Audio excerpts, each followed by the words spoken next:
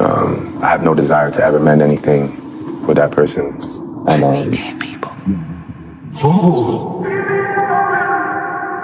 What is it, the brakes? Don't speak on the family, Corey. Let me see you push a T. Devil is a lie. Here, 69 God. Melissa asks, uh, tweets, Drake claims he wasn't cool in high school. What made you uncool?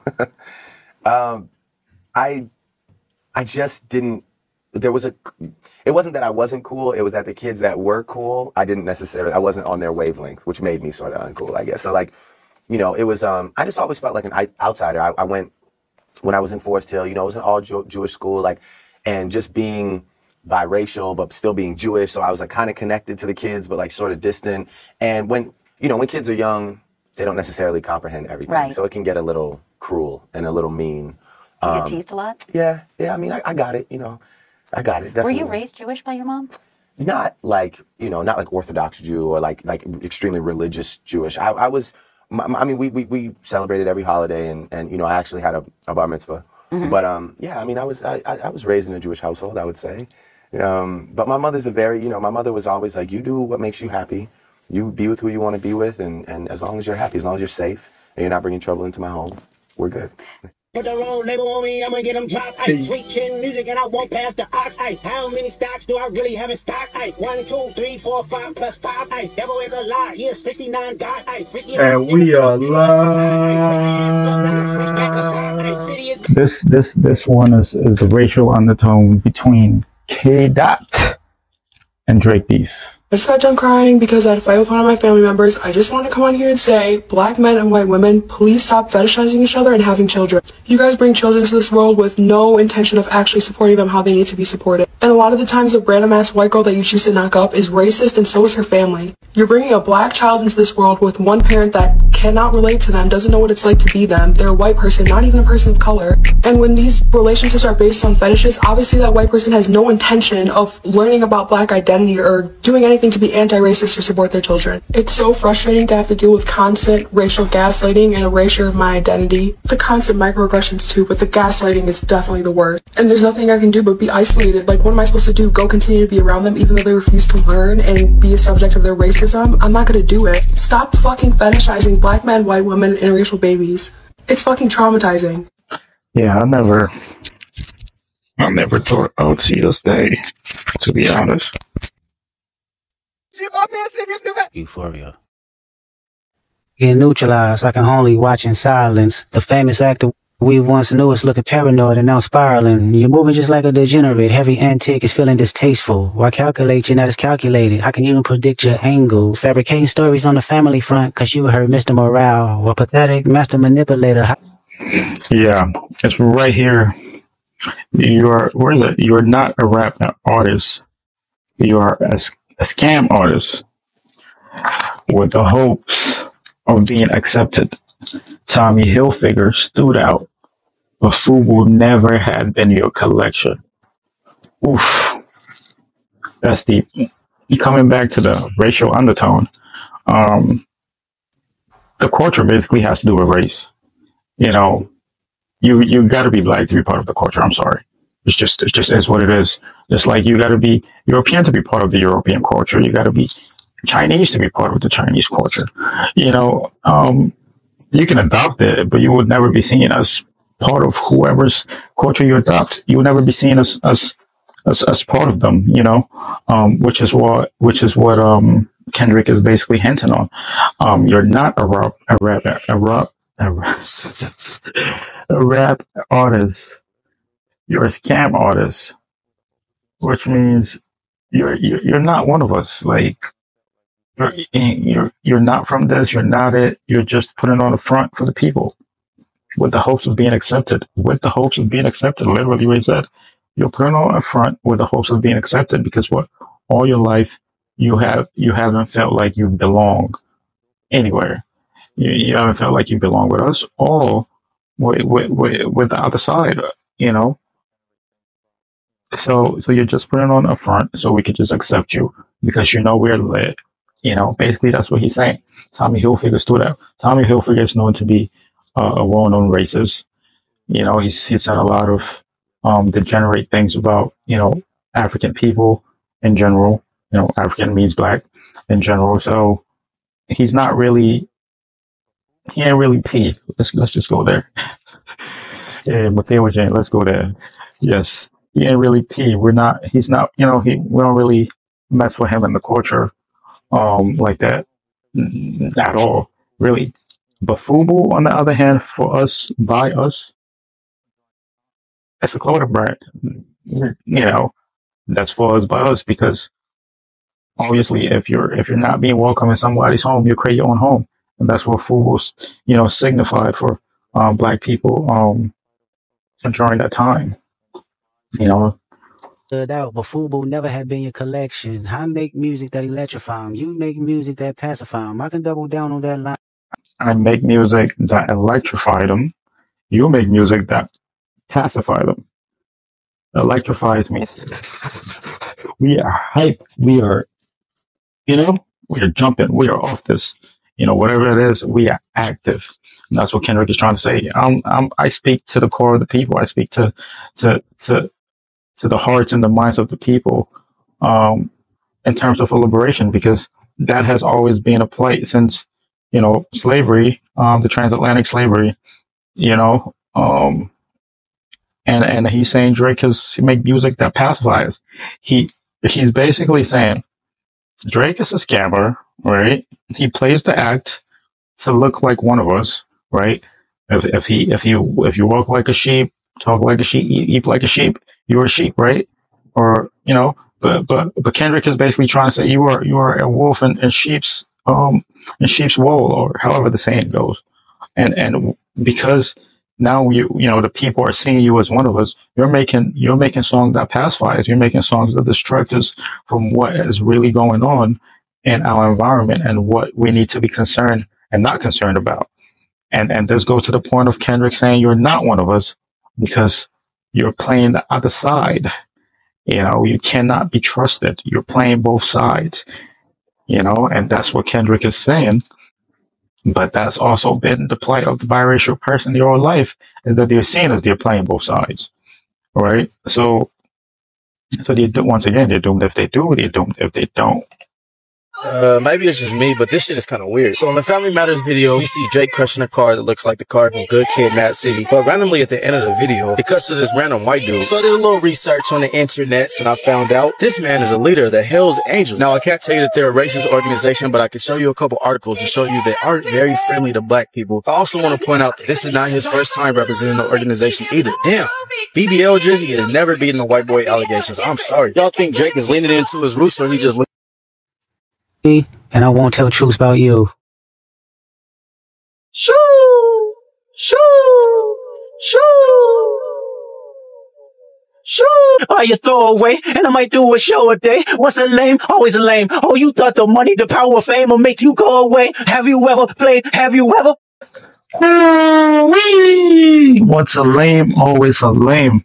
This goes back to Drake's video when he was asked Cool in high school. um, if he was part of the cool people or not. Um, and he basically I- said he, you know, I he wasn't part of the cool people because there was a he didn't it wasn't that I wasn't cool. It was that the Oh, kids that were put it. cool, I didn't necessarily. I wasn't on their wavelength, which made me sort of uncool, I guess. So like, you know, and, and Kendrick is saying, hey, man, um, and, and to be part of the culture is to be cool. You gotta be fly. The culture is fly. You gotta be fly.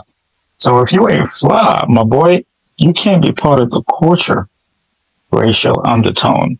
Basically coming from him. You're not one of us. You're not one of us. Okay, nigga, let's And he said, it doesn't matter how much money you get, you're still a goofball. Mm.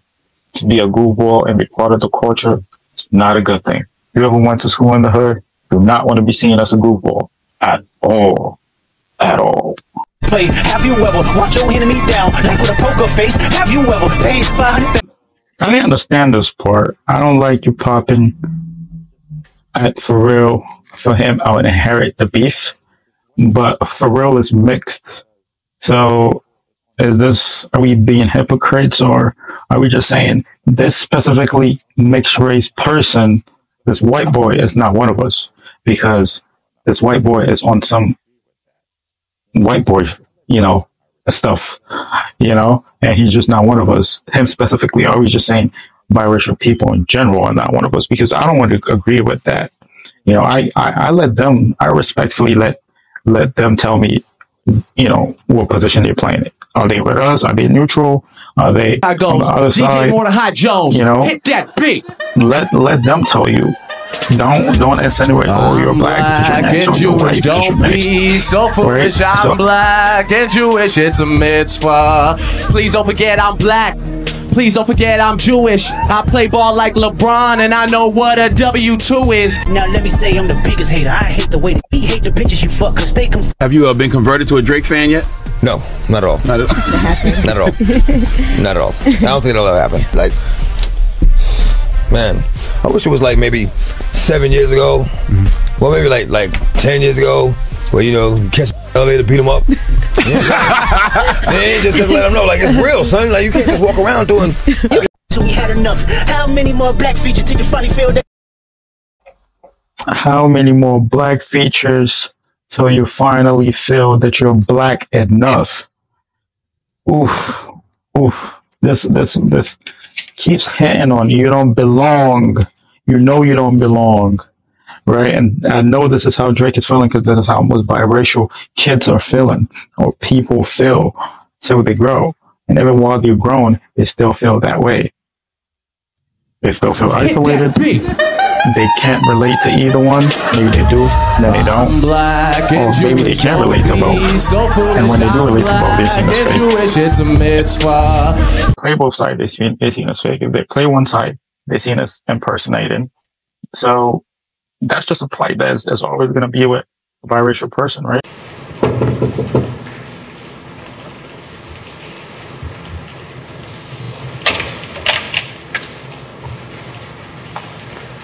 Good afternoon, ma'am. It's raining so hard, I brought rubbers and coat to fetch my little girl home. I'm afraid you've made some mistake. Ain't this the 3B? Yes. Well, this is it. She can't be it. I had no little colored children in my class. Oh, thank you. There's my little girl. Viola, you may go home.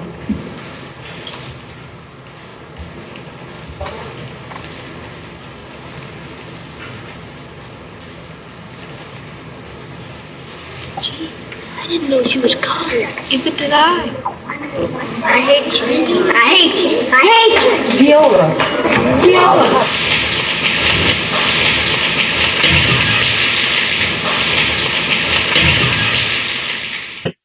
Um, is it so you feel that you're black enough?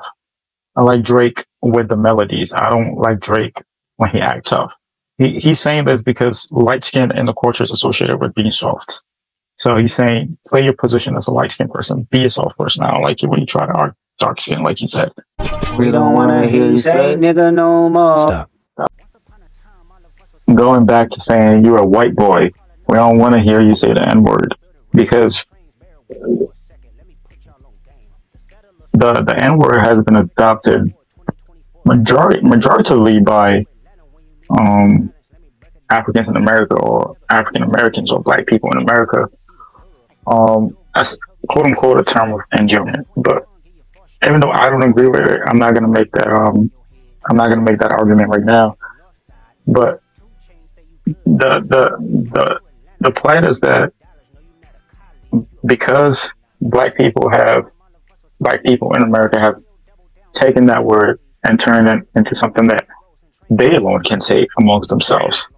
Um, it's the whole point of him saying, "Hey, man, we have reclaimed that word, and you're not one of us. You're a white boy. Like across all, keep saying." You can't keep saying the N word. It just it's it, it's just cringe worthy. It's just I cringe when I hear it. so I really do not view you as one of us. And that's what Kendrick has been saying the whole time. You are not one of us. And you pussies can't get booked outside America for that. You P word can't get booked outside America for none. He's basically insinuating that he's the biggest star of all times right now. Like he's bigger than God right now, you know? he's known everywhere. You know, you peons are basically just known in America. So all that culture nonsense you're talking about is just the states in America, okay? Anywhere else, nobody knows you, nobody know culture. They just know hip hop, and I represent hip hop. I'm the I'm I'm I'm the leader of the new school, basically. That's what he's saying. You know, you're not known nowhere. You're new. You're not culture. I'm the definition of culture. I'm leading today. What what I say determines what culture is. I'm the guy. I'm the one that's known. I'm out of Tokyo because I'm big in Japan. I'm the hit maker, y'all depend on. I'm the hit maker y'all depend on. He's basically saying, without me, there's no hip hop. Without me, there is no hip hop. That's basically what he's saying. I'm the hit maker y'all depend on. I, I bring in the sales. I bring in the money. I make hip hop. I put hip hop on the, on the, on the, on the front page. You know, I am hip hop. You know, the whole culture depends on me to, to, to, to make hip hop what it is. You know, so without me, you you don't have no culture. The culture that you're talking about is, is irrelevant. So Drake is just keeps doubling down, and he has been um Drake Drake has been doubling down. Like I don't, he's basically giving that. Yeah, I don't, I don't give a, I don't give a.